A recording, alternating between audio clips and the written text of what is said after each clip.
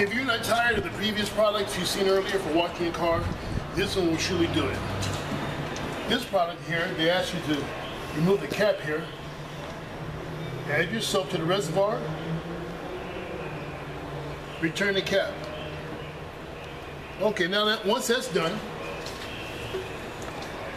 you come back to it, turn this, turn it on. It's on, it's on the rinse cycle already. So you just turn it on, and there it goes. You water.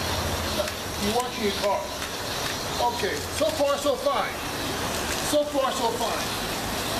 First of all, right off, you, you know I'm wasting a lot of water using this. That's not half of it. Once I turn this to the, once I turn it off and turn to the rinse cycle, well, what do you know?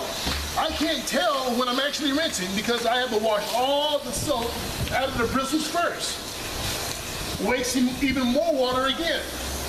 So for me, it wouldn't be a, a viable source for washing my car